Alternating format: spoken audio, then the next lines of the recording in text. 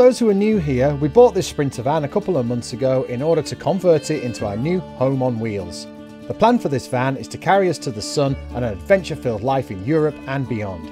So far, we've removed the rear ramp, the unwanted panels, tackled the rust, waterproofed the trims, installed a window, a MaxxAir fan, a skylight, a visor, built a new floor, and swapped out the double seats. Now we just need to see if our layout is going to work. So we've just been to pick up a load of cardboard boxes and we're going to build a camper van out of cardboard. Hi everyone and welcome back to the channel. I'm Adrian, single father to 13 year old twins John and Ella.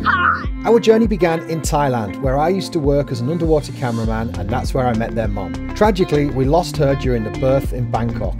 I later moved back to the UK to be closer to family. Now, nine years later, I'm home educating the kids and planning exciting adventures. I've always known the transformative power of travel, and I want my children to experience it while they're still young enough to want to go with their old dad. We converted my trusty work van into a cosy camper van to embark on incredible journeys. Our future plan is to upgrade to a bigger van and make a more permanent home in Europe. Join us on our journey as we explore the world, learn, and grow together.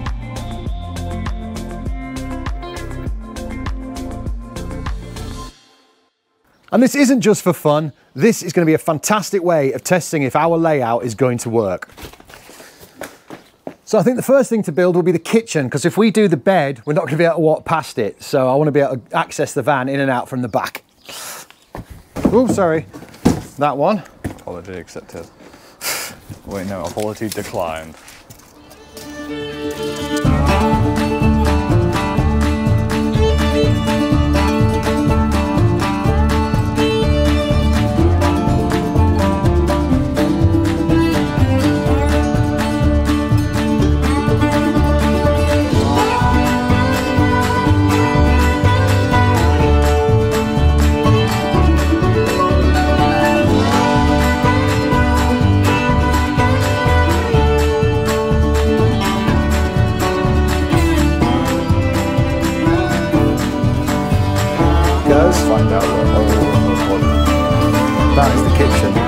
So already we can see that that is the kitchen worktop there. Yeah. Sink, cooker.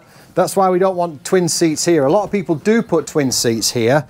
It would be doable, but I don't like it and we don't need it. So we're going to do the single seat there. Right, next, John. yeah. We could actually do a shower cubicle next.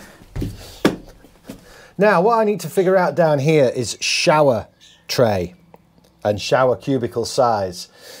You can go small and have a porta potty toilet that lifts in and lifts out. We do have the space to go for an actual chemical toilet inside with a, a fixed toilet with a shower tray. Now going on the same theme as the whole van with the fixed beds so we don't have to faff about putting beds uh, together and dismantling them every day. I kind of feel the same about the bathroom. If we're going to have one, we would only save about 20 25 centimeters in space which may be a lot in a, in a small van like this. Well even though it's a big van but you know what i mean. But i like the idea of the convenience and also i'm thinking of having a, a young teenage girl in the van. She would like that space i'm sure at some point. So there's two options. One extends from the bed here. Uh, they're both about the same width. One comes to here which is the one I see that most people have. And the other one is about seven or eight centimeters shorter, which is the option I like. I'll put a little thing up on screen now, show you the ones I mean. So this is the longer one, which you'll have seen people using. And then for the shorter version, it would be like this. Now, living in the van, we don't intend to be using the toilet all the time for everything. We use toilets wherever we can. This is more like for emergencies, first thing in the morning, middle of the night, you know, it's, uh, that's really what it's there for. But also the shower, I think the shower is a nice thing to have, and uh, especially with a teenage girl. So I'm going to build one out of cardboard. Right, that's not cardboard, it's plywood. They're just some offcuts I have that just happen to be the exact right dimensions for the end walls. So they'd be a good starter, a good base to work from and I can build cardboard up from there. Incidentally, what I was talking about with the toilets there and a chemical toilet, please give me your opinions down in the comments section because I know so many people use the compost, composting separating toilets these days and I'm just not convinced. I don't see why they cost the money they do. You could easily build yourself one of those out of a bucket and some plastic bottles. I personally like the idea of doing it this way, We will be in Europe. There's places to empty these things everywhere. And if we get to a place where we can't empty it, then we have to get a bucket out or go in the bushes. So anyway, give me your opinions down below because I want to know. I know most people like the composting toilets. Tell me your opinion, tell me your experience, tell me if I'm crazy would be good.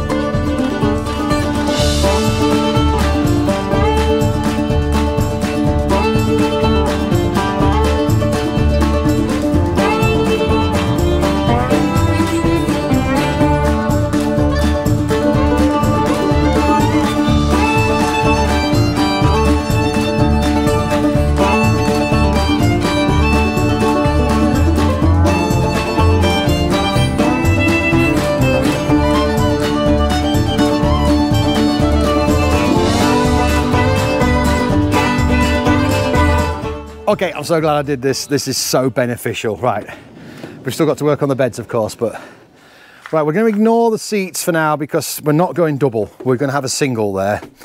That needs putting back in. But this gives us a real good idea because that's roughly where it'll be, more or less. When that swivels round, there's still room for a table and everyone to get their legs underneath. Then around here, we've got the kitchen here, sink, cooker, worktop. There will be overhead cabinets, but I'm not building those. And then that thing there, and you know what? It doesn't look as big as I thought it would. And then me being me, I've cut a door into it, look. So you'd go in here, that would be your shower tray area there. The toilet is a lot smaller than this one, but that's how that would be there. And you've got plenty of room to sit down and be cozy in there and private.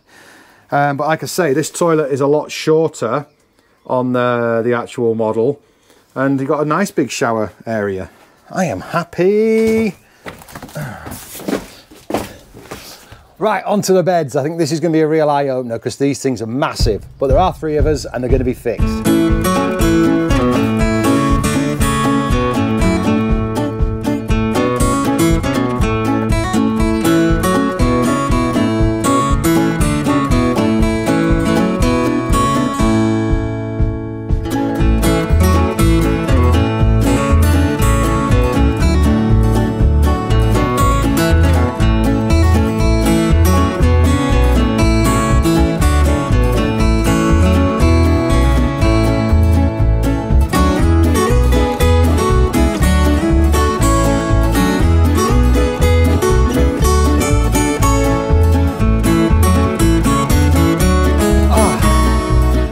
Okay, so that would be Ella's bed. I'm doing this, I'm going all the way. I'm gonna do mine and John's bed above. Yes, I'm using my Kingspan uh, or Celotex and uh, I don't care because it'll still use. I can cut it into whatever shape I want to go in the ceiling and all the different areas. Plus it was taking up too much room in my garage anyway, so it could do with being chopped down. I won't be able to build the full amount of mine and John's bed, but we'll get a very good idea, I think, We'll see how far I go with this.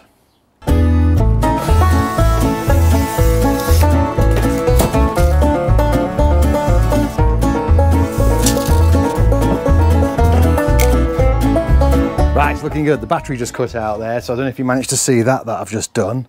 Um, I'm just going to put a back across Ella's bed because then that's it really. That shows us the whole layout. So a very quick sneaky peek here from the front of the van Looking back, there's a kitchen. Like I say, that'll be single. We've got a bathroom there. That's Ella's little cave entrance. Maybe a couple of footsteps for me and John to get up there. Me probably there, John tucked in there. Overhead cabinets, overhead cabinets, probably just have them by our feet so they're not banging our heads off them. But that should be, with a squishy mattress, you've got to imagine a deep squishy mattress should be just enough to crawl up in there. And then, like I say, we'll be able to get out the top hatch, which will be nice. So yeah, it's not too high. This is amazing. This just gives me such a feel. And you know what? Oh, I feel so relieved. This was such a worthwhile exercise. It really, really was. This is fantastic. Not disturbing Ella in the morning in there. John can lay in there reading his book or whatever. And I can get up and I can make a cup of tea here. No problem at all. Probably put a bit more wall up there to protect the bed from the cooker, or the cooker can move, but This is all by the by. This is just little bits and bobs. But this is plenty of room. This is with a 45 depth kitchen. I could push it to 50, especially if that's not going to be there and that's going to be further in. I just don't, that, that's just too thin to go through there. I don't like it. I don't want to feel restricted ever, like we've got to twist and get through things. I do not want that. No, we'll definitely have a single seat there and so much more space. Because also, you know, you want, you want space to be able to jump down out of bed and get changed and things and uh, not worry about bumping into stuff. And these seats, obviously, these are the front ones which are leaning forward because of the base that used to sit on a ramp at the front. So it would actually be leaning back more like that and it would close this gap off here, but it'd be a good storage space. So yeah. Hey Buster, you all right? Yeah. What do you reckon? Come on in and have a look, look. Oh, wow, this is quite tight. Yeah, but it's good though, don't you think? Yeah. Look at all this room. Don't- It's got no strength whatsoever. You touch it, it'll collapse. it's just to look at, okay? So that's Ella's little hatch. And that's Ella's hatch. And look, maybe a couple of footsteps up there for us to hop up onto our bed. Imagine there'll be right roof cabinets as well, look, going all the way along, all the way along up there. So we've just had, we'll have a smaller hole to get through. And John, look, come here a little bit. Do you need the toilet, sir? Uh, yes, I do. Thank you. It's good, isn't it? Like, will the door be this short? No, Okay. it's not going to be made out of cardboard, I promise. Wood, right? Okay. Oh, Yeah, there's a camera. I didn't see the camera.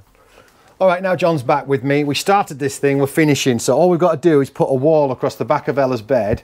Because the other thing is I want Ella to come out and be able to visualize everything because it'll just confuse her if there's no wall there. We know it will.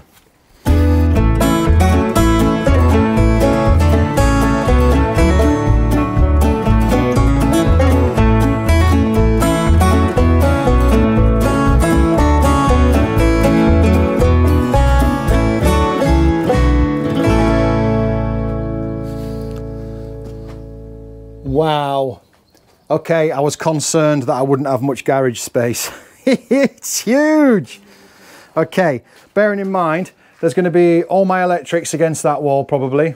Or that wall, haven't decided. For some reason I've got it in my head, that wall, same side as the kitchen. So that takes up a bit of space. But we've got tons of room. I mean, I do intend on having big slidey drawers because I want to keep as many of my tools as possible being a, a tradesman, I can't I can't imagine not having my tools with me. When if, if something comes up that I need to do, and uh, I haven't got tools, oh, makes me shudder. Um, but I had thought about the option of a water tank under Ella's bed. I suppose we're gonna have to get a boiler in here at somewhere. Somewhere, combi, uh, not a combi boiler, uh, like a big gas. What's it for the water heating and the gas uh, central heating.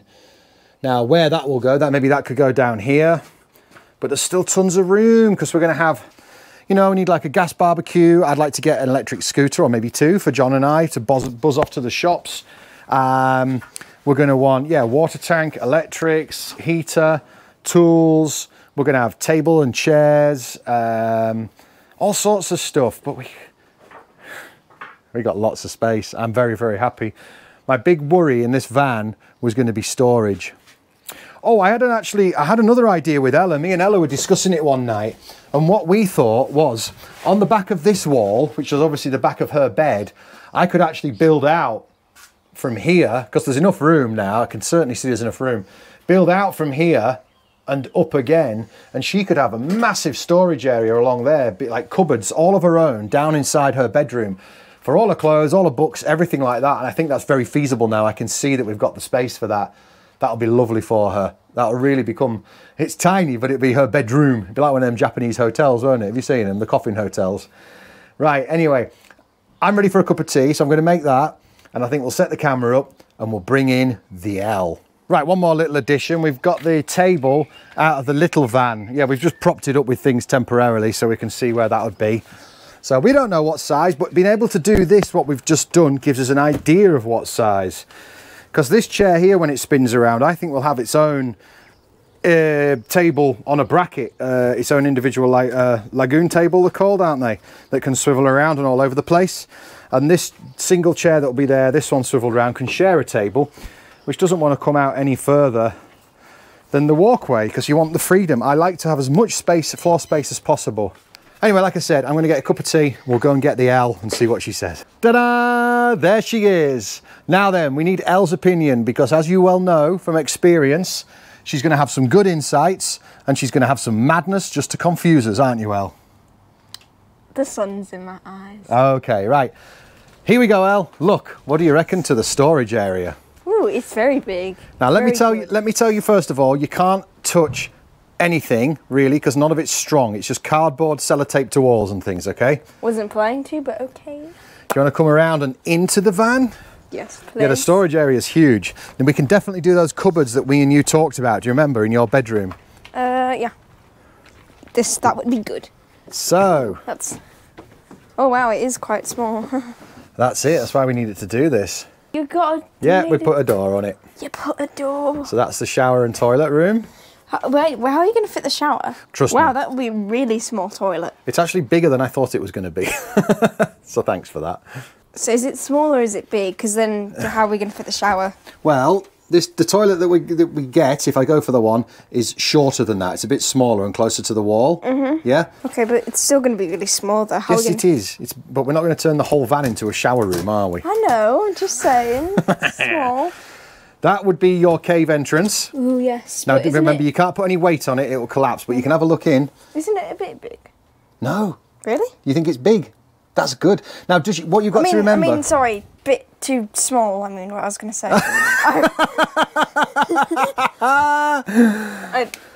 oh, what? I thought she was excited about it being big.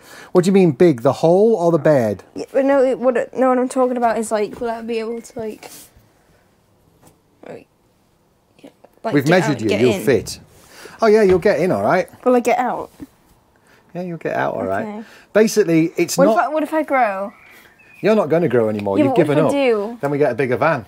That's when we upgrade the van and get something bigger or a boat. Alright. This is the kitchen. What what what's this? That's just holding the cardboard boxes together. Oh, it is small, but of course it could be small. But um, yeah, no, no, not much complaints except, you know, am I gonna fit there? And just why is the, the toilet?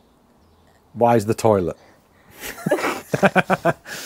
Overall, I think it's amazing, El. I don't know about you.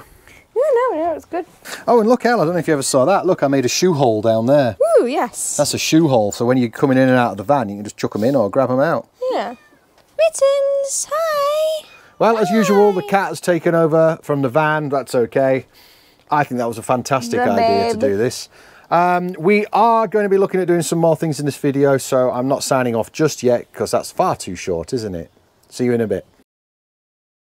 And we're back as promised, and it is quite a few days later actually. And I think the video turned out long enough as it is, but look who's here. Sal's back for a visit, and we've been busy doing something on her van, and we really want to show you. We didn't film it because uh, I just needed to get it done quickly, but we got to show you the final result because I'm very proud of it. Here you go. Oh, look, John's demonstrating. So, because in Sally's van, which is known as The yoga bus. the yoga bus. she wants to be able to put a yoga mat down here and do her yoga. so we wanted to get rid of the step. Uh, so we've covered the step up with some of my old floor. So it's exactly the same material. And we've put these little cubby holes in, little shoe holes.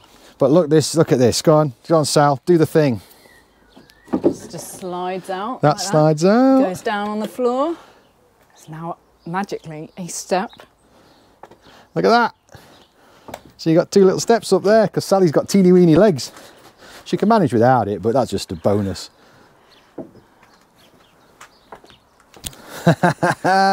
And then Oh yeah, that's it. Shoes off. In. So on a night, you think you can? Uh, you'll have to pick the step up on a night, won't you? You'll have to pick it up first and step I'll up just- on an evening, in there, and then you can just go. That's it. Slots in nicely. Night night. AD is amazing. amazing. And there we go, shoe holes. And that's a dog lead hole because Sally's got a little doggy there. And uh, Might even be this Gypsy's thing's, hole. this thing's locked in there and it slides out. Down it comes. And then also, Very happy. Oh, hang on. Then also. Ah, that's the coffee position on a morning, isn't it? Staring out to a beach in Spain. Yeah. soon. So I just had to show you that. Very, very proud of that. It's taken, what, about a day and a half to build that. But it's really good. We've been grafting, we got it done. Sally's got to go shortly, so we're gonna have a cup of tea. Uh, but otherwise, that is it for this video now. So as always, thank you so much for watching. Massive shout out to the Patreons and the coffee givers. We have got so many new subscribers now. It is just getting crazy, loving it. In fact, what I would like to know is where are you all from? Now the analytics tell me that most are from uh, the UK, but we've got people in the States, we've got people in Australia, we've got people in Thailand. Who are you? Tell me in the comments where you're from, where you're watching from. I want to know. So anyway, with uh, that all said, bye bye. We'll see you next week.